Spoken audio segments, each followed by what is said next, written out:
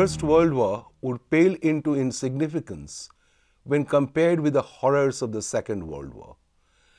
The Holocaust, the killing of six million Jews, killing of millions of other civilians, the atrocities of the Japanese prisoner of war camps, all these uh, were seen to be to have been perpetrated by three uh, dictatorial states with their fascist ideologies.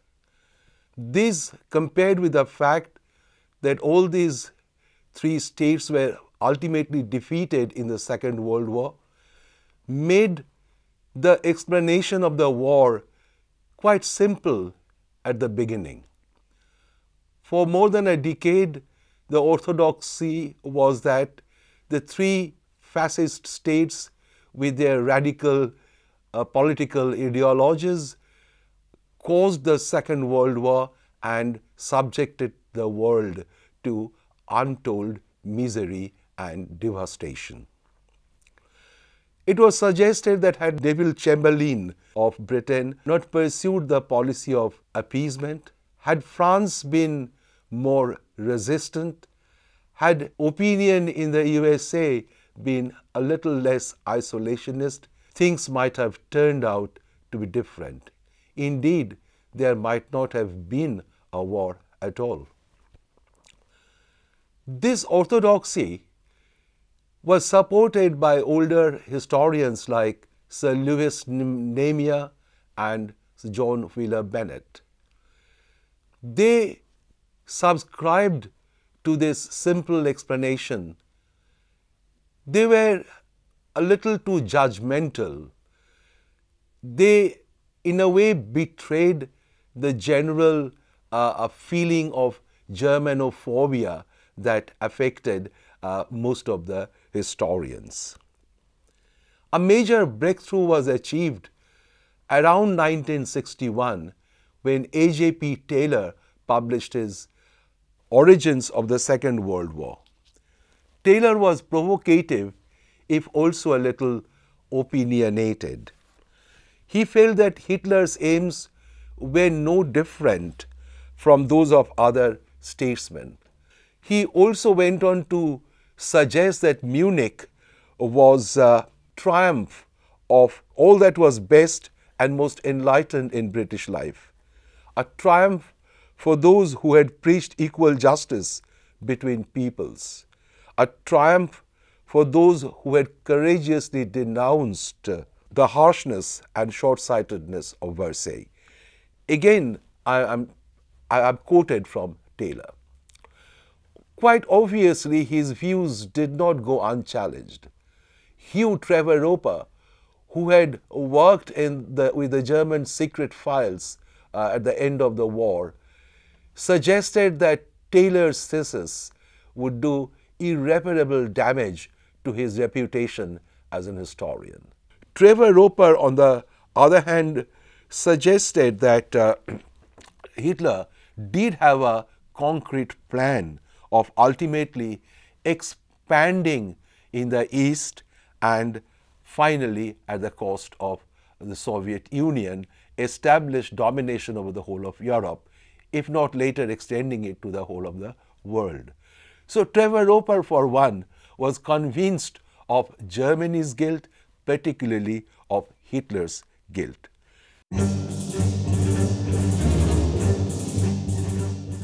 the historians have broadly been uh, uh, divided into two different schools. The intentionalist school, who did believe that Hitler and the Germans must share the responsibility for causing the war. They accept that whether Hitler had a plan or not, uh, there is uh, no doubt that it was his uh, dictatorial policy that was the determining factor uh, behind the German foreign policy during the Third Reich. Alan Bullock, for example, concluded that Hitler pursued a plan of German domination of Europe by establishing a new order. He identified the overthrow of the Versailles system and the pan-German dream of dominating Europe as the two primary aims of Hitler's foreign uh, policy. Taylor, as we have seen already, did not believe that Hitler had a plan. According to him, Hitler was a brilliant opportunist and uh, he even considered that the ideas uh, expressed by Hitler in the so-called Hossbach Memorandum were nothing more than mere daydreams.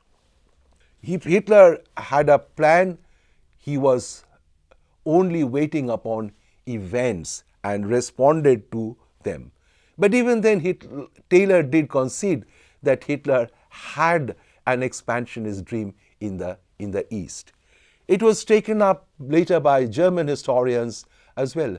Andreas Hillgruber, for example, suggested a three stage plan that Hitler had undertaken.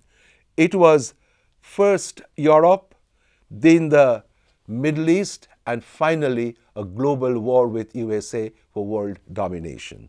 Klaus Hildebrand had also talked of a Stufen plan that again is a stage by stage plan for expansion. For him, the stages were uh, first Lebensraum or living space in Eastern Europe, destruction of Soviet Union in the next stage, and finally global domination. Thus, Hitler's foreign policy, according to these historians, was the outcome of his own clear personal intention, executed with a high degree of tactical flexibility and improvisation. Later, other German historians like Eberhard Jäckel and uh, Dietrich Aigner echoed uh, almost identical views. Jäckel argued that even a cursory glance at the diplomatic and military history of the Third Reich demonstrated that Hitler had a definite and structured list of objectives and priorities. Uh, even if he did not have a timetable or a detailed prospectus. Some German historians have even suggested that Hitler's ultimate domination, uh, ultimate aim was the domination of the fortress Europa to begin with and then world domination by uh, achieving victory first over the Soviet Union and then extending the war beyond Europe.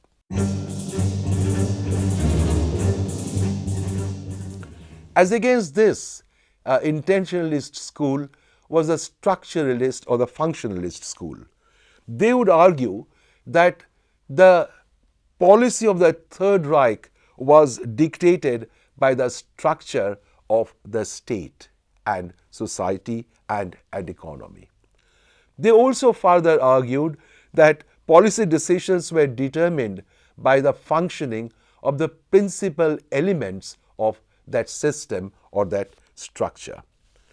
A number of studies uh, have now demonstrated the polycratic nature of the German dictatorship.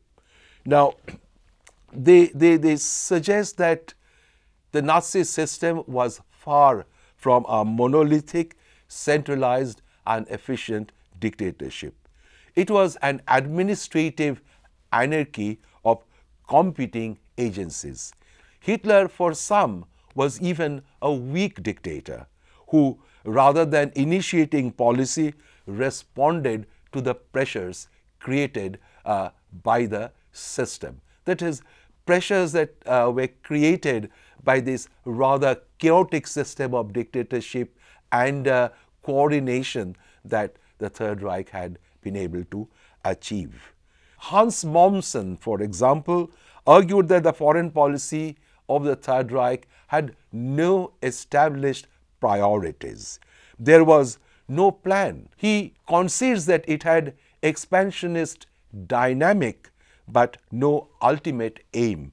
Indeed, he has described the policy as expansion without object. Karl Dietrich Bracher, in his book The German Dictatorship, feels that the idea of Hitler as an all powerful dictator is a myth which was perpetrated by Nazi propaganda. So they would tend to argue that Hitler's total control is, is something uh, that was misread by historians earlier and needs to be uh, questioned uh, properly. Martin Broszat argued that Lebensraum was at best an ideological metaphor essential for the sustenance of the dynamic forces released by the Nazi movement. While these people were talking of the defects in the structure of the Third Reich, this was later carried on particularly to the economic field by another set of historians. Tim Mason, for example, took the view that the war had begun in 1939 as the result of a domestic economic crisis uh, in Germany in the late 1930s. His conclusion was that the forced rearmament, for example, program that Germany had uh, undertaken intensified all the contradictions and difficulties within the system uh, that had really uh, left no other option open for Germany. This is true of uh, events after 1936 when the four-year plan was uh, adopted and so to be executed. Uh, there were several problems threatening the economy. For example, inflation, budgetary difficulties, and the worldwide trade recession of 1937, which affected Germany's uh, trade possibilities and hence the import of uh, the required and absolutely essential raw materials. Because of these problems, he felt, that is, Hitler felt, that war should come sooner rather than later. Now, this view is given credence by the fact that 1.5 million foreign workers and 1.3 million prisoners of war were working in, in Germany as cheap labor in June uh, 1930, 1941. Later, Ian Kershaw and Richard Overy have also uh, suggested uh, identical factors as the reason behind Hitler's decision to switch on the aggressive mode after increasingly after 1936. Richard Overy in his book War and Economy in the Third Reich had examined in details the possibilities of uh, the domestic pressure uh, being manifest in the pursuit of a foreign policy. And uh, rearmament is, is always privileged as one of the factors that produced a tremendous pressure on the domestic economy and the rearmament was seen as the uh, as an adjunct of the aggressive foreign policy and Hitler's decision to ultimately wage a war. So here also, even though there, uh, the, the, the, the, points, uh, uh, point is that it is the difficulty of the structure uh, or the contradiction of the structure that resulted in imbalances and, and led to war. The responsibility of, the, of Hitler could not be entirely negated. Another point was made later by, by many historians, including German historians, is the question of continuity in German foreign policy. Earlier, historians like Meinecke uh, thought that the Nazis had no deep roots in German history. Gerhard Ritter, for example, suggested that features of Nazi foreign policy like uh, anti-Semitism and social Darwinism were imported from outside Germany.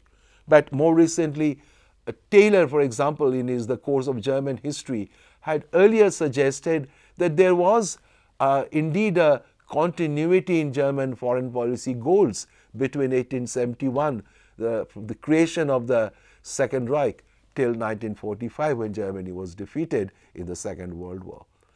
Uh, Fritz Fischer, the noted German historian who'd uh, written about German responsibility in the First World War, had also seen this continuity in a later volume that was entitled From the Kaiserreich to the Third Reich. Here again, Fischer suggests a continuum between 1871 and the period of the Third Reich there. And uh, historians, if we may sum up some of the points that they have suggested, would be that Lebensraum, for example, had earlier echoes in the propaganda of the Pan German League in the 1880s and 90s. German dominance of Eastern Europe, for example, was also a clear aim of German foreign policy in the First World War. The German Fatherland Party, created during the war by the army and army veterans, had identical views and membership as that of the Nazi Party much later. Even the Weimar government between 1930 and 33 had advocated many basic goals of Hitler's foreign policy. Hitler, in a way, represented the right wing consensus in German uh, society uh, over particularly the goals and aims in foreign policy. Yet, it is to be considered that Hitler outdid all other governments in sheer wickedness, uh, particularly in the extermin extermination of the Jews. Geoff Eley, another English historian, suggested that Nazism was indeed more extreme in every way.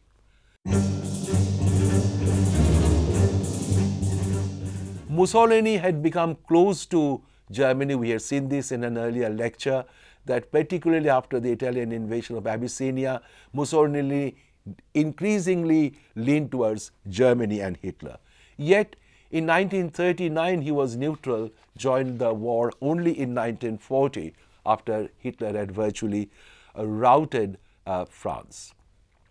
Historians have doubted whether Mussolini had any foreign policy goals uh, at all, whether he had a very clear idea of what he wanted, apart from vague uh, uh, expansionism.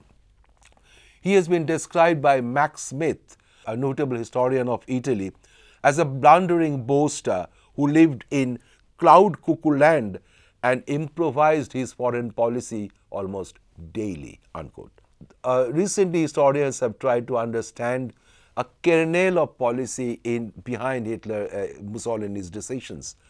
For example, he was also thinking in terms of a living space, spazio vitale, in uh, particularly North Africa and East Africa, and maybe in the in Middle East or West Asia. He also needed the foreign policy adventures as a kind of safety valve to turn away the attention of people from the domestic pressures.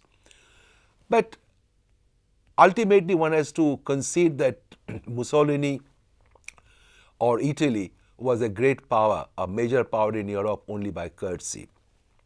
Italy did not have the resources and the power to really take a decisive action in European politics, not yet. He, however, kept his options open, and this is why he remained neutral in 1939, joining only in 1940 when it appeared likely that Germany would win this war. Historians have turned away from uh, Hitler and the three fascist powers to also look at the at least negative role of the uh, West European powers, notably France and uh, Britain. it was first uh, suggested by a book entitled The Guilty Men. This was written by a group of left wing intellectuals in England under the pseudonym of Cato, and it was published as early as 1940. It viewed appeasement as a blatant surrender to the bullying of Adolf Hitler. Later, Wheeler Bennett, Keith Middlemas, uh, Martin Gilbert, and R.A.C. Parker have all worked on this aspect of international politics in Europe during the 1930s. And they, you know, in a way reinvented the guilty men as men who were guilty of uh, pursuing a diplomacy of illusion. Uh, this allowed in this in fact had uh, allowed Hitler to feel encouraged. They, they never really resisted Hitler. Alternative policies like a positive commitment to France against German aggression, uh, attempt to bolster the League of Nations as a real agent of collective security, of cultivating friendship with uh, the Soviet Union had never been even seriously tried. And therefore, when war came, Britain and France were without friend, but more importantly, they were also in a weak military situation. Chamberlain was personally responsible for this policy of appeasement as he virtually ran the foreign policy as a one man band.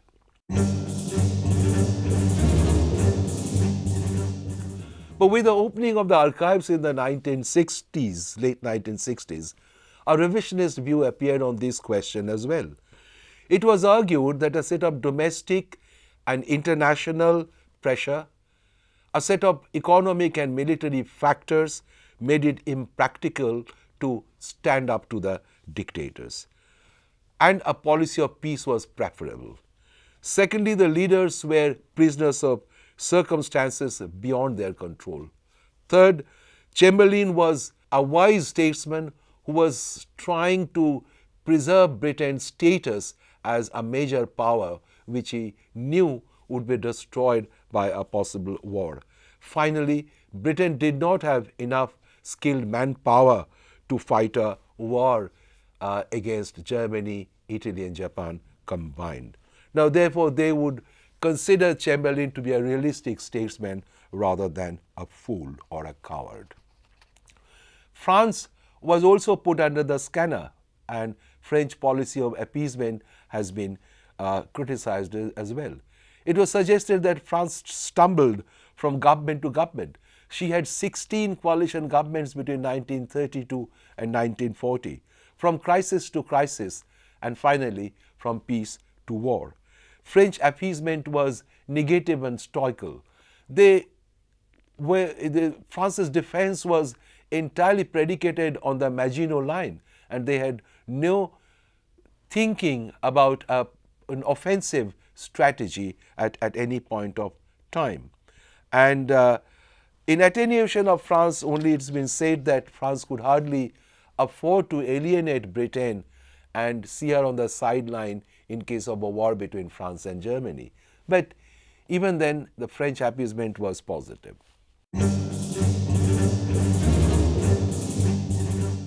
Now, again, orthodox historiography would often put a, a sizable blame on the Treaty of Versailles, that the Versailles contained the seeds of the Second World War. Now, this view was first put forward in a manner of speaking by the brilliant economist J.M. Keynes. He wrote the economic consequences of the Peace of Versailles at the end of the year 1919. And in this, he argued that by keeping German economy dead, the peacemakers had decided to kill the European economy. He said that before the war, German economy and along with it European economy had been rising all the time. And now half the continent lay dead after the war and the other half was dying. In this context, he felt that the peace had become a Carthaginian peace. Instead, every effort should have been made not to alienate Germany at all. A.J.P. Taylor argued that the Treaty of Versailles lacked moral validity almost from the uh, beginning. But again, this view has not been accepted by others. Later, Ruth Henig, uh, Anthony Adamthwaite tried to suggest that they had done uh, decent work. Probably they faced problems which could not be solved, which were very difficult to be solved. And that the in the 20s, the peace, peace worked. In 30s, it did not work because there was no enforcement. That when the terms of the treaty were violated, those who were supposed to preserve the treaty did nothing to, to, to make the treaty enforceable. And it was the violation of the treaty, violent violations by Hitler and, and Mussolini, that ultimately made the slide to the war unavoidable, uh, if not inevitable. The Great Depression of 1929-30 as a real watershed. The peace worked in the 20s, but it was not workable anymore because of the Great Depression. And the blame, therefore, should not be apportioned to the peacemakers of 1919. And the final point would be the role of the Soviet Union.